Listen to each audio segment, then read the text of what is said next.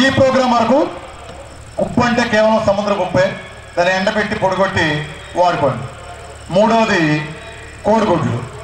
ఈ ప్రపంచంలో తల్లిపాల తర్వాత అత్యంత బలమైన ఆహారం ఏదైనా ఉందంటే అది కోడిగుడ్డు తర్వాత ఏదైనా అట్లనే అత్యంత చవకైన ఆహారం కూడా కోడిగుడ్డేనండి.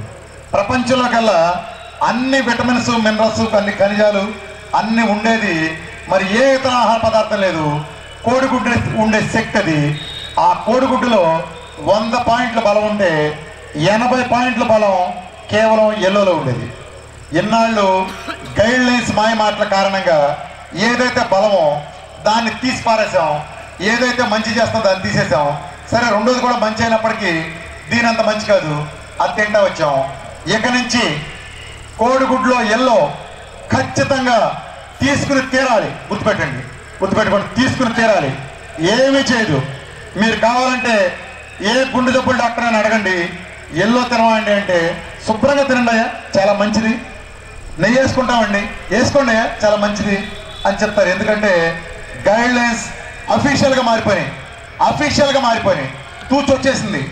ఇన్నాళ్ళు చెప్పిందని తూచి వచ్చేసింది. శుభ్రంగా తినండి. కోడిగుడ్ని ఎలా తినాలి?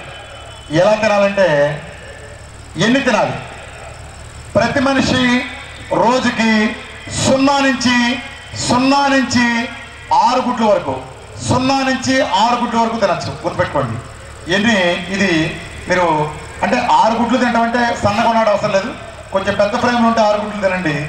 మీడియం ఫ్రేమ్లో ఉంటే ఒక నాలుగు గుడ్లు ఐదు గుడ్లు ఇంకా చిన్నగా ఉంటే మూడు గుడ్లు. కొంచెం రేషియో చూసుకోండి. నేను అందరికీ జనాంతిగా చెప్తా కూడా సరిపోతుంది. అంటే ఎక్కువ తిన్నా ఏం కాదు. దానికంటే ఎక్కువ తిన్నా కూడా ఏం కాదు.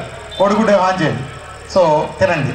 ఎలా తినాలంటే కోడిగుడ్లో ఉల్లిపాయ కట్ చేసి వేసుకోండి మన కరివేపాకు కానీ జీలకర్ర కానీ అల్లం పచ్చిమిరకాయలు మీ ఇష్టం ఏది వేస్తారో వేసి ఉప్పు కారం మీ ఇష్టం.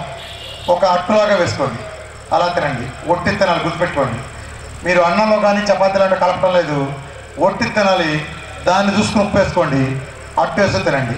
లేకపోతే కోడిగుడ్లు గిలకొట్టి ఉప్పు కారం వేసుకుని జీలకర్ర కానీ ఆమ్లెట్ వేసుకుని తినండి డైరెక్ట్గా.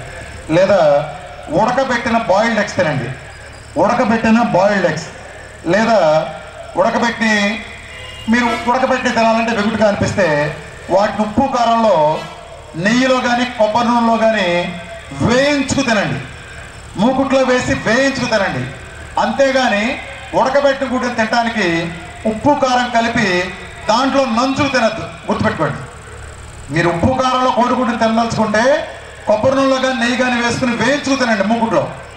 అంతేగాని నంచుకు తినమాకండి. రెండింటికి తేడా ఉందరా చెప్తాను.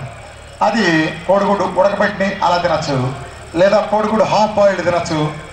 పెప్పర్ సాల్ట్ వేసుకుని లేదా కోడిగుడ్డు పరటు ఉల్లిపాయ క్యారెట్ లేదా క్యాబేజీ క్యాబేజీ లాంటివి వేసుకుని పరుటు చేసుకోండి. లేదా వెజిటబుల్స్లో కలిపి వెజిటబుల్స్ అన్ని మిక్స్ చేసి ఇప్పుడు ఉదాహరణకి ఒక తోటకూర కర్రీ. చక్కగా నెయ్యి వేసి తోటకూర ఫ్రై చేయండి. నాలుగు కట్టలు తీసుకోండి. తోటకూర ఫ్రై చేయండి. బాగా ఫ్రై చేసినాక ఉప్పు కారం మీ ఇష్టం. ఫ్రై చేసినాక ఒక గిన్నెలో తీసుకోండి. నాలుగు గుడ్లు గెలకొట్టి బాగా కలిగి చెప్పండి. దాన్ని ఒక ఆమ్లెట్ లాగా వేయండి. వేస్తే తోటకూర ఆమ్లెట్. అలానే మష్రూమ్ కూర ఉండండి. దాన్ని కూడా చక్కగా మసాలాలు కూడా వేసుకోండి కూర ఉండండి. బాగా ఫ్రై అయినాక దాని గిన్నెలో వేయండి. నాలుగు గుడ్లు వేసి గెలకొట్టండి నాలుగో ఐదు వేసి. చక్కగా దాని ఆమ్లెట్ వేయండి. మష్రూమ్ ఆమ్లెట్ దొండకాయ ఆమ్లెట్ దోసకాయ ఆమ్లెట్ పాలకూర ఆమ్లెట్ బీరకాయ ఆమ్లెట్ ప్రయోగాలు చేయండి. ఇంకా మీకు అందరికీ శుభవార్త ఏంటంటే వనితా టీవీలో ఆదివారం తప్ప సోమవారం నుంచి శనివారం అనుకుంటా ప్రతి రోజు పదకొండు గంటలకి వీరమాచరణ డైట్ రెసిపీస్ అని వాళ్ళు ఒక రెగ్యులర్ ప్రోగ్రామ్ స్టార్ట్ చేశారు.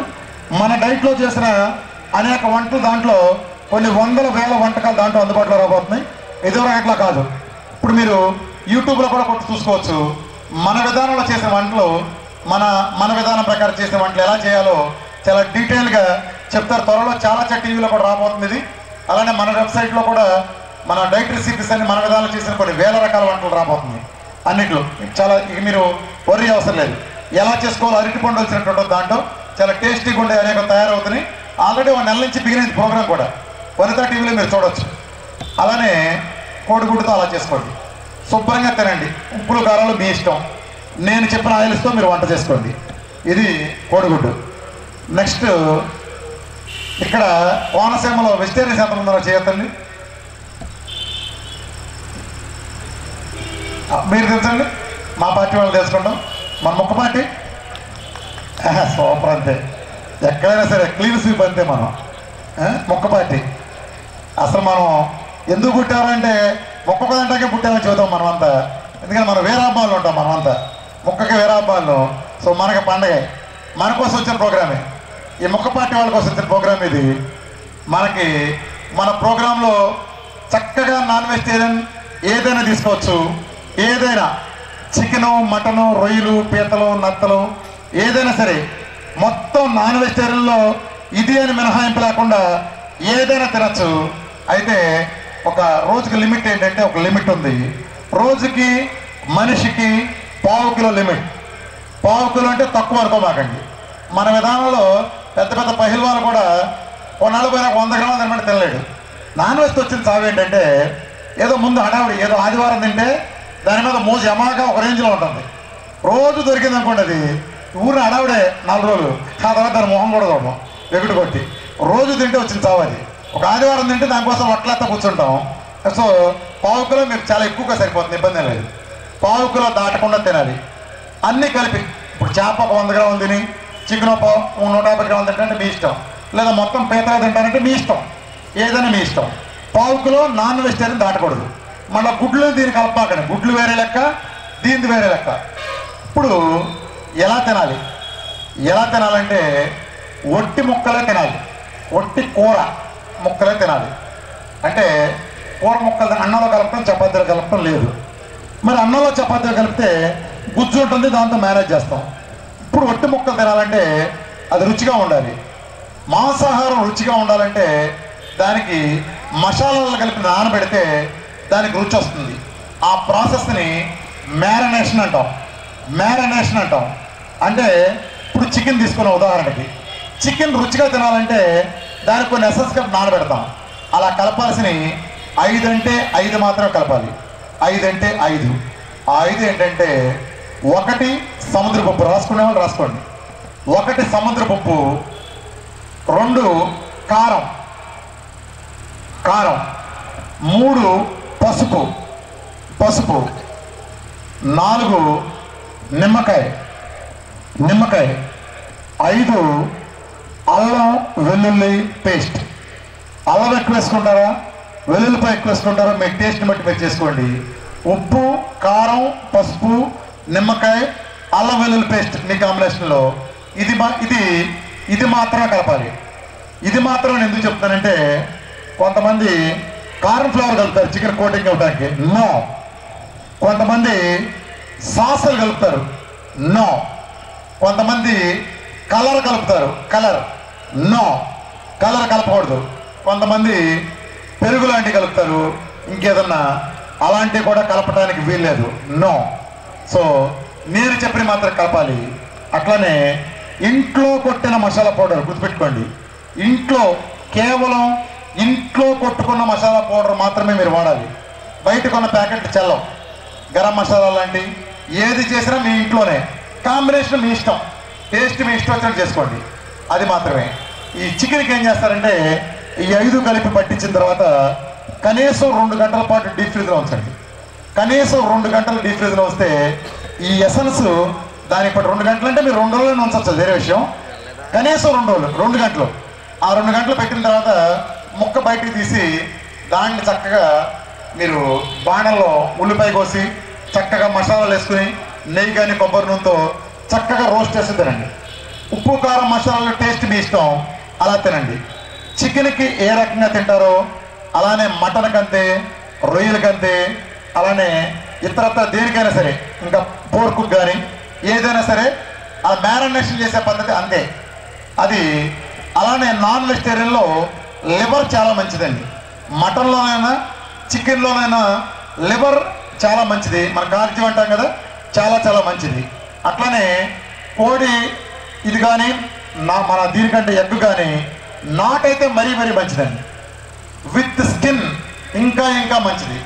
విత్ స్కిన్ అలానే మీరు పంది మాంసం అండర్ కట్ అంటారు కదా? ఇక్కడ ఏమంటారు? అండర్ కట్ పంది మాంసంలో పోర్కులో అండర్ కట్ అంటాం కదా? వారో ఏదో అంటారు. అది కూడా చాలా కోవులాగా ఉంటుంది. అది కూడా మన ప్రోగ్రామ్ చాలా చాలా మంచిది. చక్కగా మీకు ఎవరికి నచ్చిన వాళ్ళు తినండి. అట్లానే మన ప్రోగ్రాంలో చింతపండు వాడటానికి వీల్లేదు. నో. చింతపండు వాడటానికి వీల్లేదు. కేవలం ఇంకా ఏది వాడటానికి వీల్లేదు? పులుపు కోసం కావాలంటే వాడాల్సిన ఒకే ఒక్క పదార్థం నిమ్మకాయ మాత్రమే. గుర్తుపెట్టుకోండి. Only lemon. ఇది. కాబట్టి పీతల లాంటి కనుక మీరు తినాల్సి వస్తే పులుసు పెట్టుకోమాకండి. ఫ్రై లాగా చేస్తానండి లేదా పీతల పులుసు నుంచి తినాల్సి వస్తే పులుసు తినకుండా మొక్కలు తినండి. అట్లానే బయటికి వెళ్ళి తినాల్సి వస్తే నాలుగు ఐటమ్స్ మీరు బయట తినచ్చు. మంచి హోటల్లో బయటికి వెళ్ళి తినాల్సి వస్తే. ఒకటి తండూరి చికెన్. కలర్ లేకుండా. తండూరి చికెన్ కలర్ లేకుండా. అలానే chicken kebab.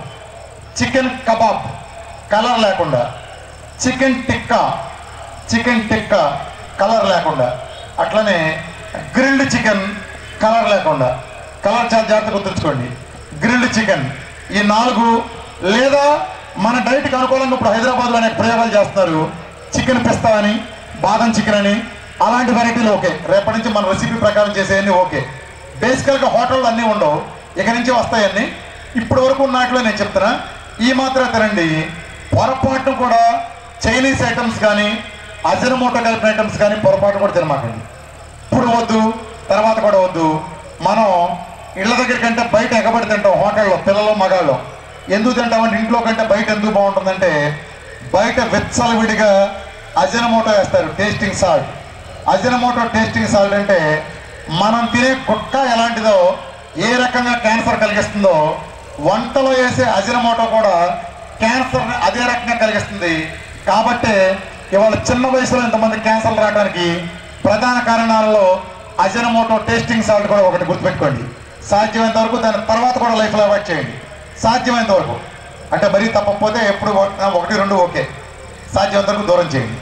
అట్లానే మాంసాహారంలో అతి ముఖ్యమైన ఐటమ్ ఒకటి ఉంది. అదేంటంటే mutton bones soup. Mutton bones soup అసలు. ఇది మీకు తెలుసు కాళ్ళు రెండు వాళ్ళకి బోన్ సూప్ పెట్టాలి అని చెప్తారు డాక్టర్లు. ఎందుకంటే కాల్షియం బాగా వస్తుందని.